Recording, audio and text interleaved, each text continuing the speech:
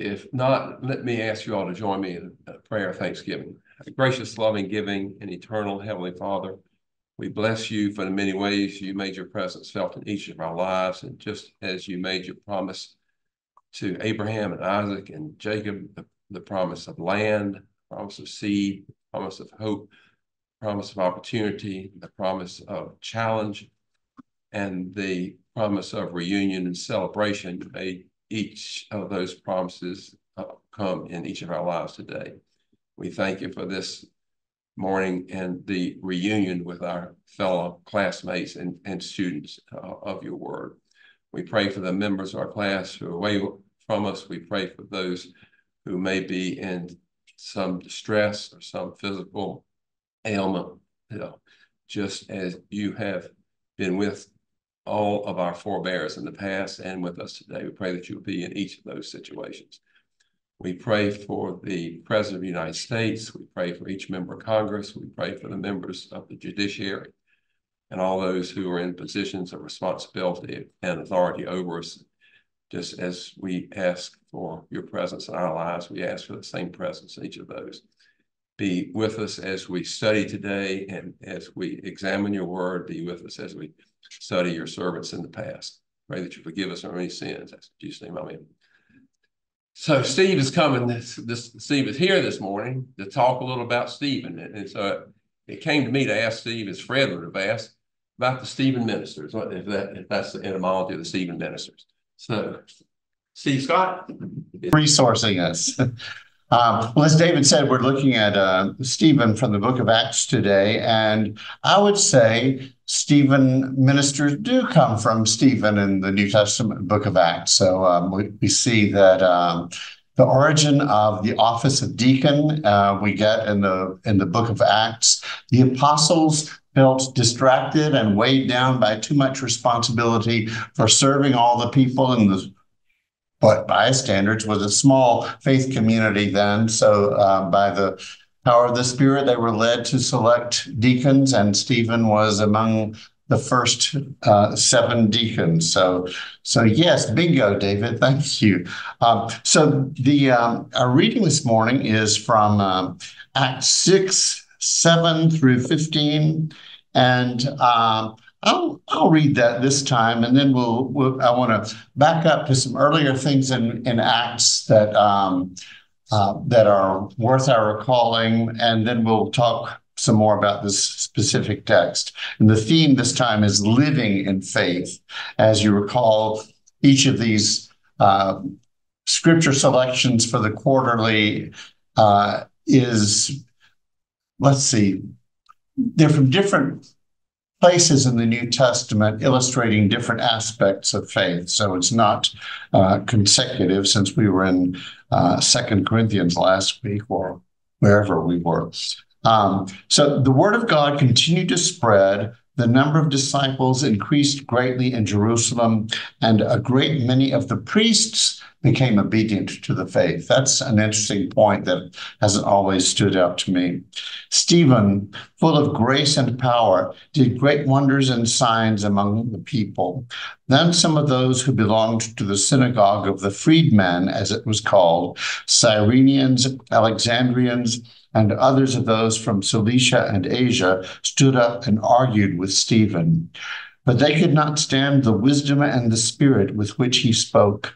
Then they secretly instigated some men to say, we have heard him speak blasphemous words against Moses and God. They stirred up the people as well as the elders and the scribes. Then they suddenly confronted him, seized him, and brought him before the council. They set up false witnesses who said, This man never stopped saying things against this holy place and the law. For we heard him say that this Jesus of Nazareth will destroy this place and change the customs that Moses handed on to us. And all who sat in the council looked intently at him, and they saw his face was like the face of an angel. And then Acts continues into Stephen's speech, his sermon, his testimony before the council, which goes over a great deal of biblical history up until that time. And then they've heard so much, they stop their ears and take him out to stone him to death. But let's back up a bit in Acts to see some of the highlights. To remind you briefly, um, Acts is the second part of a two part work, Luke Acts, by the same author. Uh, so, in a way, it is a continuation of the gospel. Uh, the gospel of Luke ends with the ascension of Jesus. Uh, the book of Acts begins with the ascension of Jesus, told each in a uh, slightly different way. Um, but then uh, we get the story of the early church down to Paul's arrival in Rome. So it's a it covers a period of some years. Uh, some people describing the book of Acts say that it the book invokes the invokes the Holy Spirit so often that some say we ought to call it the Acts of the Holy Spirit, but the longer title is the Acts of Apostles, or uh, the Greek title is actually Acts of Apostles.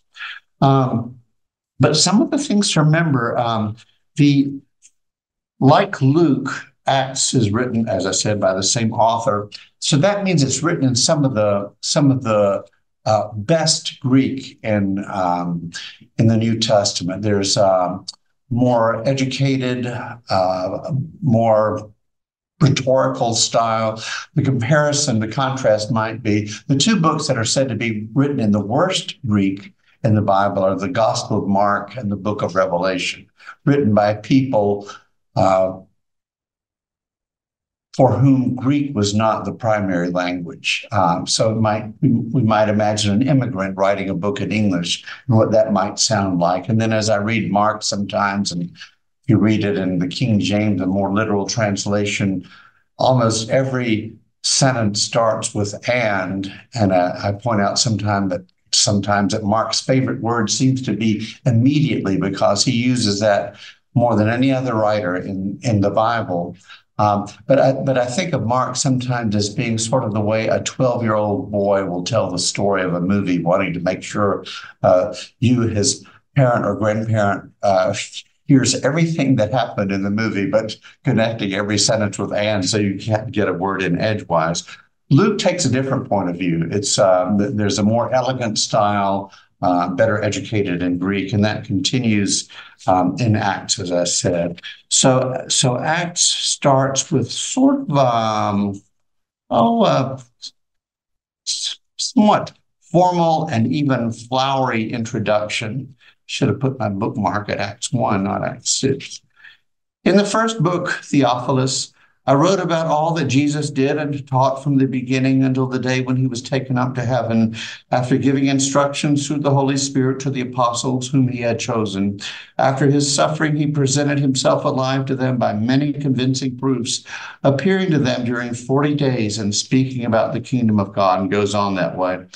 Um, so some, I, I, thought we would, in introducing the part that is laid out for us, I, would look at some of the highlights of the, the uh, earlier parts in Acts. So maybe the most important chapter of the book of Acts, in, in my view, is Acts 2, um, the day of Pentecost and the coming of the Holy Spirit. So you recall that the the um, the disciples and the believers have gathered in the upper room and the Holy Spirit comes and there's the sound like the sound of a great wind uh, filling the house, and and they go out into the street and tar- start telling the story of Jesus, and people hear them in every language spoken by those who've come from all over the Roman Empire. So it's really um, an amazing account.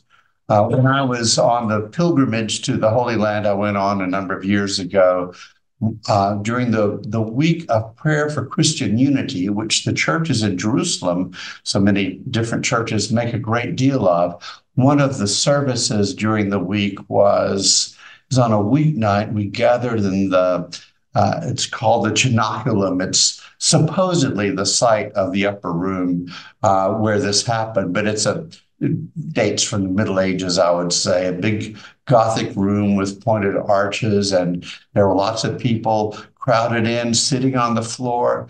And the hint of Pentecost I got was when we were invited to pray the Lord's Prayer together, each in our own language. You hear all this murmur of voices coming up, and it was kind of an amazing experience. So, uh, So imagine the coming of the Holy Spirit being like that. Um, Peter's sermon uh, convicts many people who come to be baptized, and the the Acts 2 ends, um, and day by day the Lord added to their number those who were being saved. Um, another important point is in, in Acts 3, Peter and John go to the temple and they heal um, a lame man at the gate of the temple. And as I see it, it shows clearly that Peter and John, the apostles, are continuing the ministry of Jesus because they're doing something that um, that Jesus himself uh, would have done and did do many times. But this becomes a matter of controversy, so it en- leads to their being um, arrested and um, offering testimony.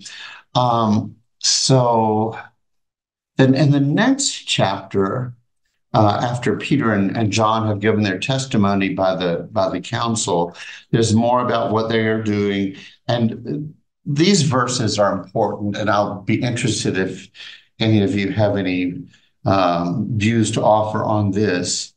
Now, the whole group of those who believed were of one heart and soul, and no one claimed private ownership of any possessions, but everything they owned was held in common. With great power, the apostles gave their testimony to the resurrection of the Lord Jesus, and great grace was upon them all. There was not a needy person among them, for as many as owned lands or houses sold them and brought the proceeds of what was sold. They laid it at the apostles' feet, and it was distributed to each as any had need. What do you think? We don't do that anymore, do we? Um, there are ways we share. Uh, we contribute as we can and as we feel moved. We realize that um, an injunction is laid upon us to give generously, sacrificially. Yes. It makes me think of communities that have tried to emulate this. The Koinonia Farms, isn't that one? They all just pooled everything and um, then it also makes me think of the 60s when, you know, there was sort of the uh, movement among hippies and groups of communes. Communes, right. right. And they It is very. yet tried to Mm-hmm. sort of emulate that and and have everybody share everything. Right. Yeah, I'm struck by that. And they're all of one mind and one heart, and there's no disagreement. And there's, you know, that is really remarkable. It is. And, and we've seen already in some of the texts we've looked at this month that conflict came up fairly early in, in, in the church. In fact, in the verses that led to the deacons being appointed, there is some conflict that leads to that. So I guess the question that occurs to me is this really something that the church achieved for a brief time? Or remember, this is written, oh, a couple of generations later. If Luke was written around 80, Acts might have been written as late as 90, somewhere in that period. So a couple of generations after the time when this is set. So is it, oh, back when when my grandparents were in church, it was so much better and and everybody always came on Sunday and stuff like that that we're used to to um, to hearing one way or the other. Um, was it ever really that way, or is it an ideal that they set up to recall Luke writing or based on whatever he had heard? Uh, was, was it ever fulfilled or was it just departed from early? Some people read this and and understand this as an injunction still laid upon the church, and and to the degree that's not what we do, they see see that as failure. I might say, especially some of the liberation theologians. Um, there's a book by a liberation theologian, Jose Porfirio Miranda, called "Communism in the Bible," and he he chooses this as sort of a golden text for uh, to illustrate that, and that that's how Christians most ought to live. But we can think of all sorts of ways that it's easier for us to think of ways it wouldn't work than of ways we could make it work. So, um, but but that was pointed to as an ideal in these days. Um, in chapter five, we get into some of the persecution they begin to experience as um, um, again, some of them are arrested. Uh, uh, Peter and um, and so they're having a debate in, in the council. The high priest questioning them, saying, We gave you strict orders not to teach in this name, yet you filled Jerusalem with your teaching, and you are determined to bring this man's blood on us. And Peter says, We must obey God rather than human authority. Where have we heard that otherwise? And uh, a time closer to our own. Um, but then th- this is important too, I think, uh, from the Counsel of Gamaliel is occasionally referred to. Uh, he was um, a respected Jewish leader then, and he certainly attested otherwise in the in the um, Talmud and the Mishnah. So, so this is could well be historic. But he's he said to the council, fellow Israelites, consider carefully what you propose to do to, to these men. For some time ago, Theudas rose up claiming to be somebody, and a number of men, about 400, joined him, but he was killed, and all who followed him were dispersed and disappeared. After him, Judas the Galilean rose up at the time of the census and got people to follow him. He also perished, and all who followed him were scattered. So, in the present case, I tell you, keep away from these men and let them alone, because if this plan or this undertaking is of human origin, it will fail. But if, if it is of God, you will not be able, able to overthrow them. In that case, you may even be find, found fighting against God. Uh, so, so that's um, from time to time as the church has confronted or had to deal with some new movement from within its midst, people will resort to the Counsel of Gamaliel. Uh, the church has not always um, taken that to heed, but um, as we've set bounds for belief or action, but um, but that's that's an important text in Acts. Well, let's get to deacons in in chapter six we get to um, the need for the office of deacon. Now, during those days, this is uh, 6 1, when the disciples were increasing in number, the Hellenists complained against the Hebrews because their widows were being neglected in the dis- daily distribution of food. So the Hellenists and the Hebrews might be a little confusing, but partly what, what it represents is that in the Hellenistic world, that's the world, uh, the eastern half of the Mediterranean that Alexander Great the Great had conquered, and then they were developed, uh, divided among the um, successor kingdoms before they became part of the Roman Empire. Greek was the most widely spoken language, and there were many Greek-speaking Jews, uh, Jews for whom Greek was their first language. Paul uh, this refers to himself as coming from Tarsus in, in Asia Minor, so he would have been one of those who grew up probably with uh, with Greek as his first language, though he certainly was a uh, devout and accomplished scholar of Jewish scripture. But so the division seems to be between uh, Greek-speaking Jews and refers to them as Hebrews. The daily speech for for Jews in um, in Judea and um, Roman lands there was Aramaic.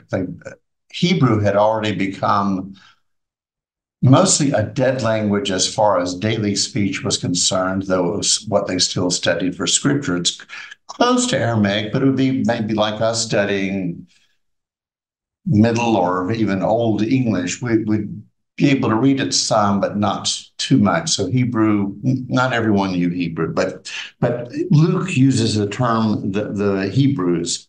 So so they they felt that some were getting more favorable treatment than others in the distribution of food. Remember, they're holding all things in common and they're sharing whatever they have, but but there's an issue that has developed. So the apostles say they shouldn't have to be waiting on folks at take. So they decide to appoint the uh, the deacons, and it lists the deacons. One of them is Stephen. Um, so then we come to the text for today. The word of God continued to spread the number of the disciples increased greatly in Jerusalem, and a great many of the priests became obedient to the faith. So um, uh, that really sticks out to me in a way it had not before that priests became obedient to the faith. So, uh, but but then this controversy is stirred up by uh, Jewish opponents of um, of the early church of the apostles and now of Stephen, one of the deacons, from the synagogue of the freedmen.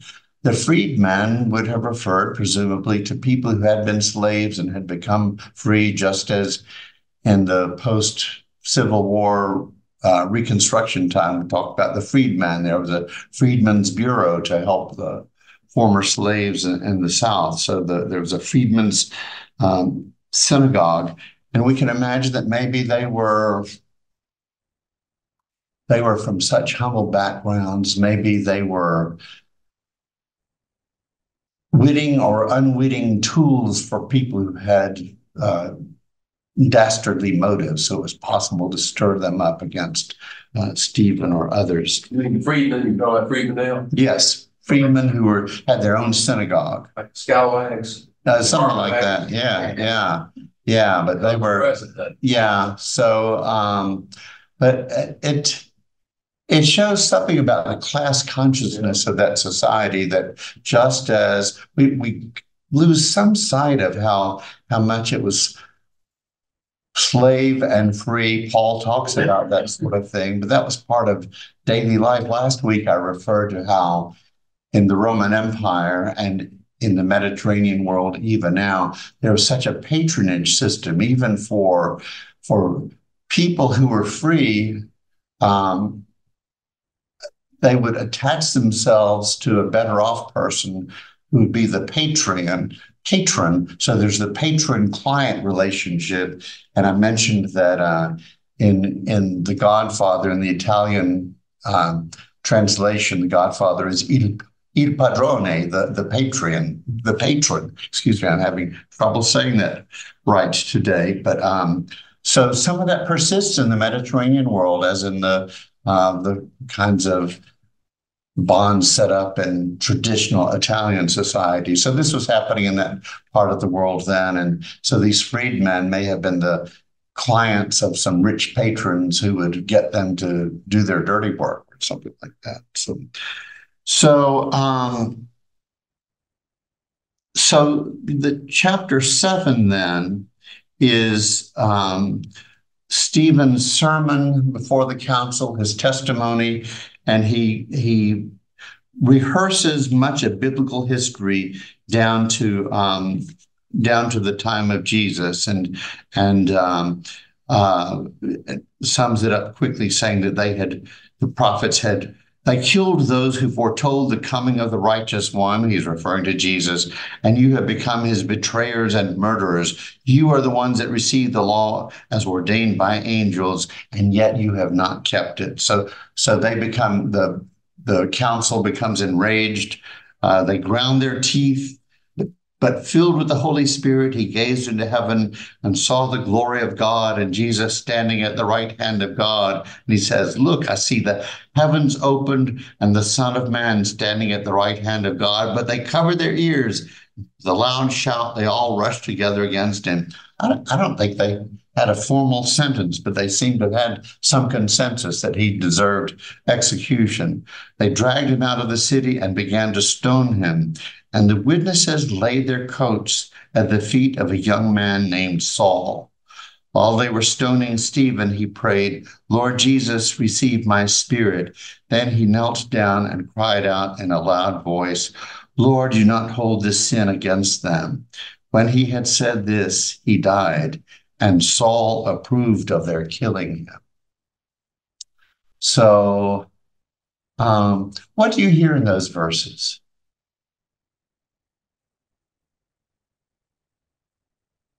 So uh, when I when I read that, it's almost that that uh, mob spirit, that uh, domination, subordination, the the tradition of the of of the law, those keeping the law, and those perceived not to be keeping the law. Mm-hmm.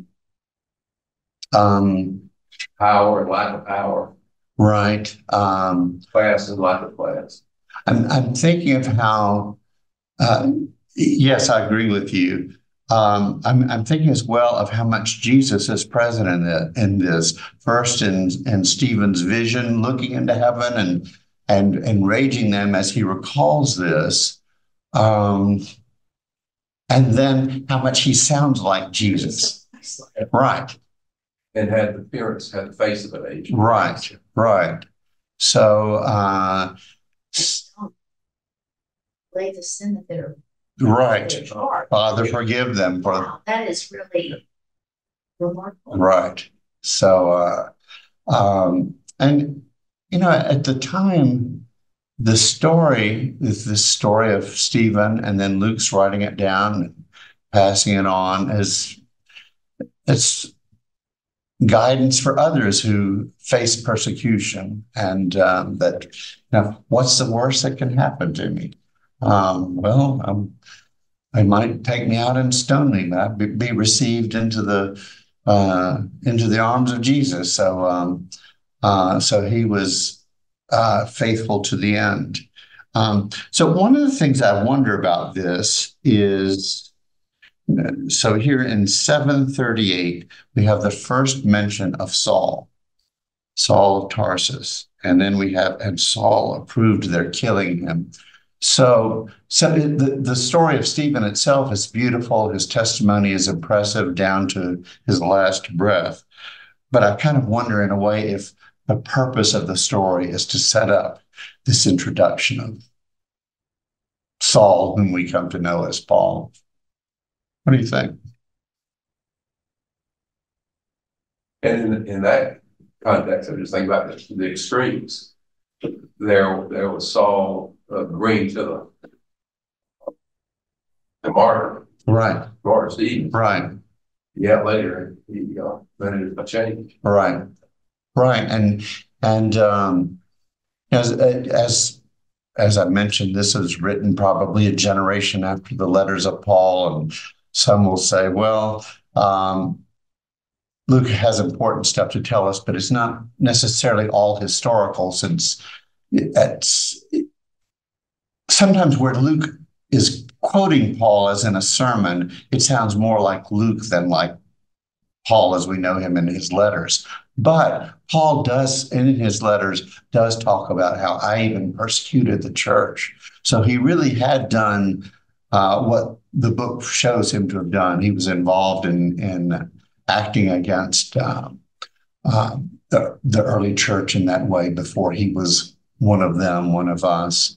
I, I feel as if I, I, ought to mention too that um, among concerns of our Jewish neighbors is some of the the negative portrayals of Jews in in in all of the New Testament, and it's a fair criticism to say that Christians or people calling themselves Christians sometimes have seized on those texts to do evil things to Jewish neighbors, and um, you know, st- still blaming Jews for killing Jesus, things like that. Um, the and I think we have to be guarded about how we read some of these things to realize the the evil use to which some texts have been put.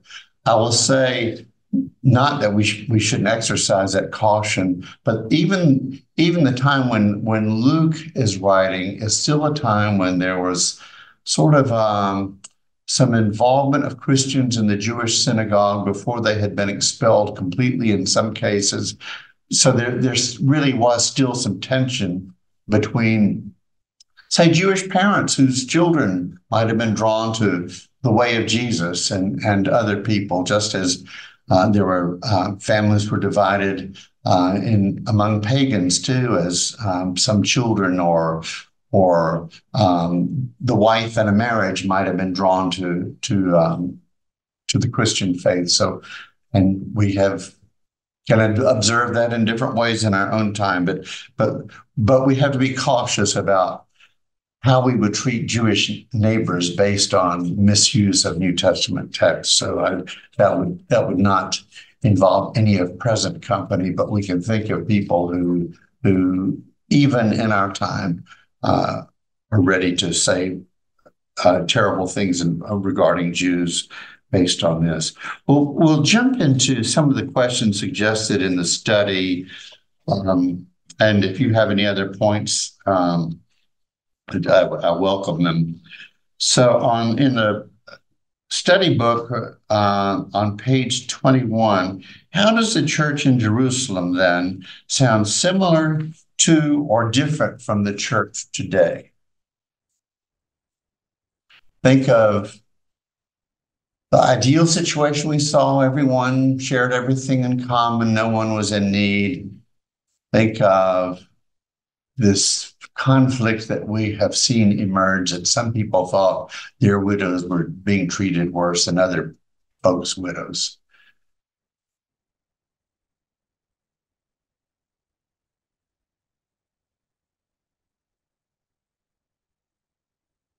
it seems what we have to say, that conflict is, has been with us, with us today, and it will be with us tomorrow. Mhm. As far as the eye can see, Mhm. for whatever, whatever desperate reasons Right, that folks disagree with each other about. about Right. issues. right, There was conflict over the ordination of women. yes. Right. Um, yeah, who gets visited more often? Um, um, preacher didn't come to see me enough when I was in the hospital. Um, well, you can think of your own examples of, of that, or the associate pastor at Caden pastor didn't come. So, um, I, I'm sure you've heard lots of stories. Um, but th- there are every church, every congregation has its own challenges to deal with in that regard, and and some deal with challenges and naturally occurring differences of opinion better than others do. I was just thinking, my child didn't get the solo in the Christmas.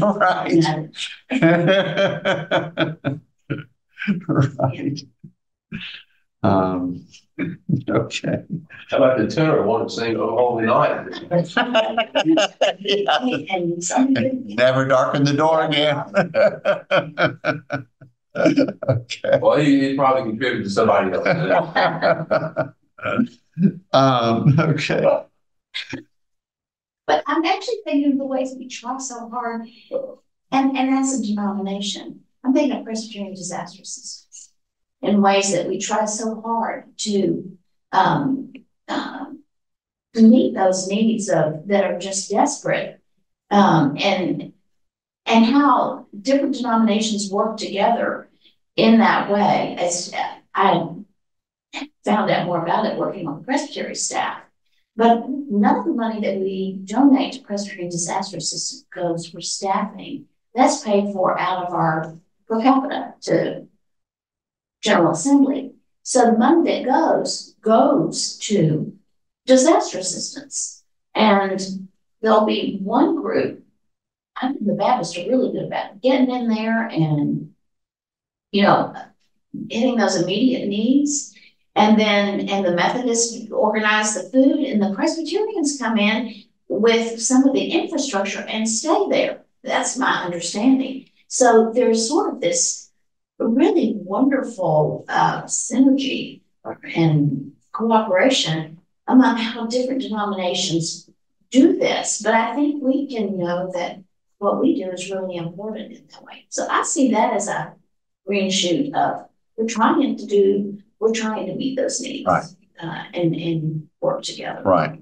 And this congregation certainly has some Yes. important mission commitments that um, uh, that make a difference in the lives of people in Nicaragua and Kenya, but also in the difference of the lives of people from here who get to go there and experience that. and someone said to me, oh, I don't give to that, it just, it just all goes to overhead. And I was able to say, actually, no, we got, Right, you know. Right. Not that, I think it's good. Yeah. Thank people to do their. The big items though, in Christian, particular churches, if they go into a hurricane flood. Yes, That's yes, where they really, uh, it. But it's still organizing and communicating, so you don't get into a competition that maybe one person gets, uh, their house re-fixed and the Right. next person doesn't get a thing. right, right. Which is a, a lot of times what you, what you hear, but I, I haven't been on many of those, so I don't, I assume that, that's mostly it's, it's the people that are doing the work that get their heads together and, uh, and you can come up with a Right. good system. right. Right. Well, and we, in a situation like that, as in whatever we might do locally to help people who are in need, we can't solve every problem, but, but it's better to do something and to make a difference in some people's lives and to say, well, we can't fix it all, so we'll help, help no one. So, um, um, uh, one of those good, what would Jesus do times. So, um, Another question, what do you think allowed Stephen to persevere in his faith when he was unjustly accused and attacked?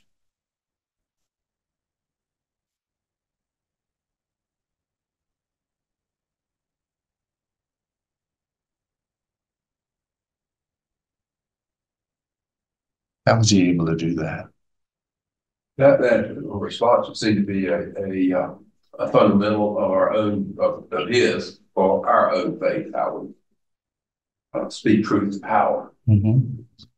or speak out against an injustice or impropriety Right, at, at a risk, at his huge. risk. right.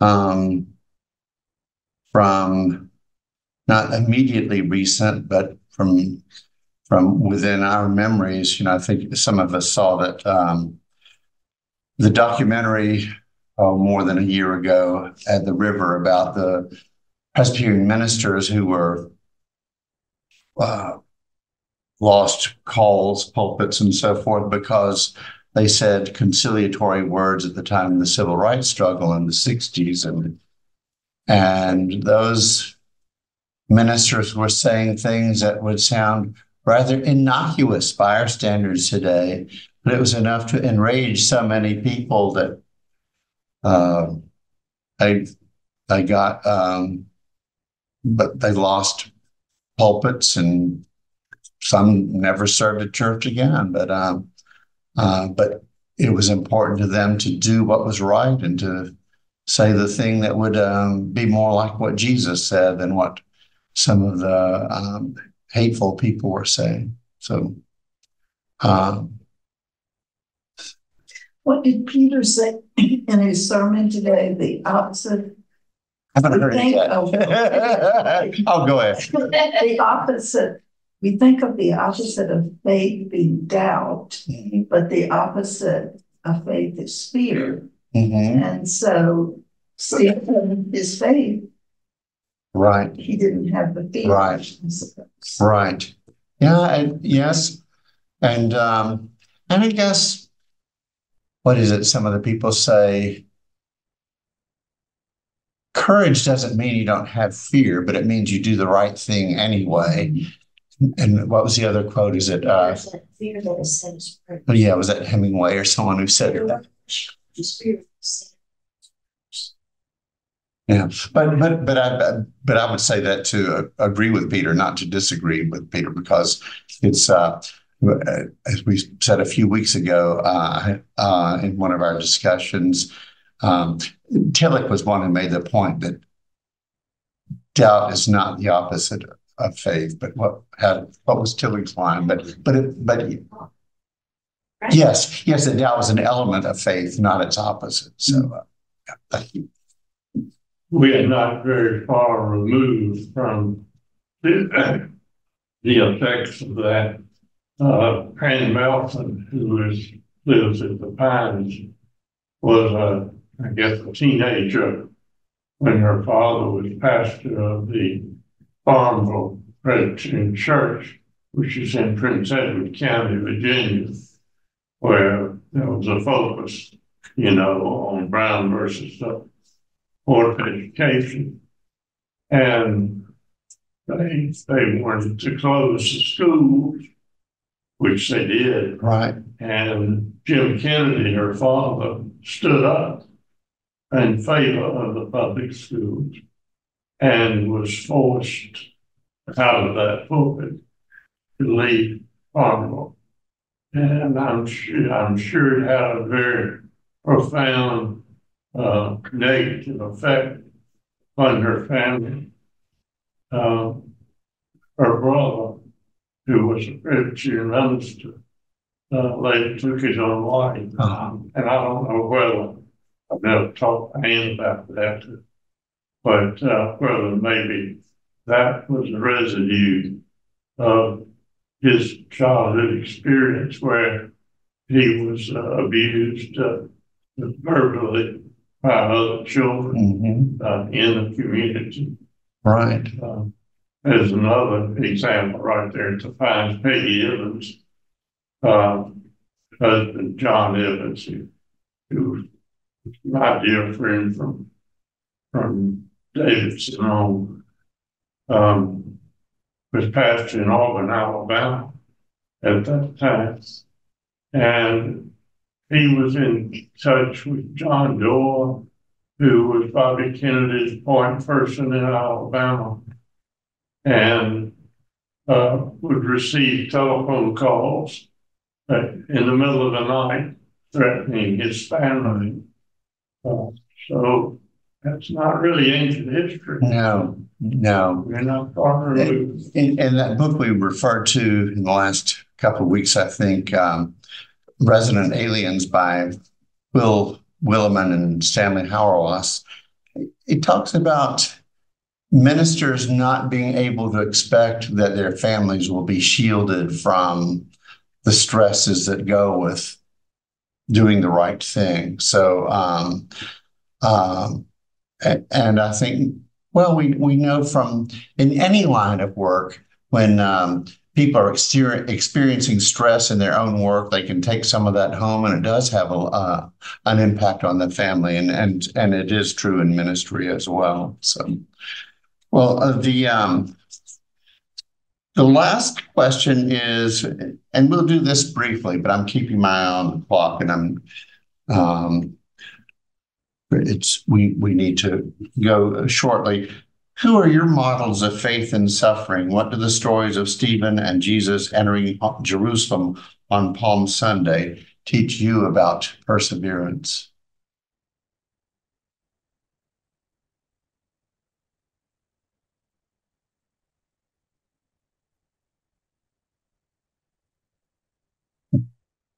But I say we don't see many folks riding in it's on a donkey or Cadillac, uh, with those points and with those theses. Right. And with those observations.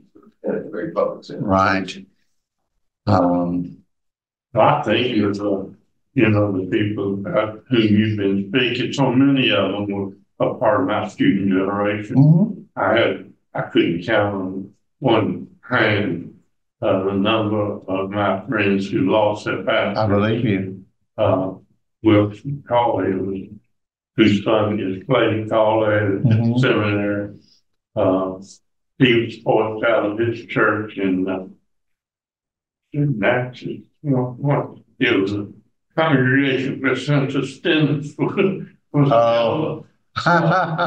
And uh, his father and uh, his uncle was an executive presbyter in Orange Presbytery and found a place for him Mhm, uh, in a small, much smaller church. And then he went on to serve at uh, Providence Church, I believe it's Providence right here in, in Iredell County, and then mhm. Alma Mall. Interesting. Had a very fruitful ministry. Uh, Uh, Is there many- too many such stories? Yeah. Yes, and I haven't seen the movie, the video at the river. it was shown here, I think, in November a year ago. And I think that last word, um, um, they're going to be trying to, they're trying to find a way for it to be shown on a streaming channel, but also to make DVDs available. So that does become available. I'll make sure you or others here who would be interested know too. It, it was really quite touching. So, um, one person who's prominently featured in it is John Kirkendall. So, And he was in Auburn. Right. the time John Evans right, was undergoing all this. right. And there was an elder out of the church that my daddy served in Montgomery, who was one of the leaders in the foundation of the PCA. Oh, And and John, he was quite a pompous guy. He was secretary of the Chamber of Commerce in the state of Alabama. And John said one of his friends says it of him, of this guy, that he was the only person he ever knew who could strut sitting down. that's a good one. Well, John Ward was his name. I remember just in his office. uh, well, the uh, worship is upon us, so let's close with a prayer and we'll um, let's see now. Um, I'm not going to be here next week, so John suggested that we pre-record the the the lesson, and John and I have yet to have an appointment to do that, but um, we'll we'll make um, arrangement for that. But you can be aware of that on Easter Sunday, so I'll miss being with you all then. So let's close with a prayer. Loving God, we thank you for the assurance of your presence in the lives of our families and our own lives and in the life of the church. We thank you for signs of your presence and love that we have been grateful to experience and to receive. We pray for those for whom we feel particular concern at this time, especially for the Marble family. We pray for for this congregation as we go to worship yet again, that you will be present by the power of your spirit and cause us to know that you are here. Bless us as we part. We pray in the name of Jesus Christ. Amen. See when you talk about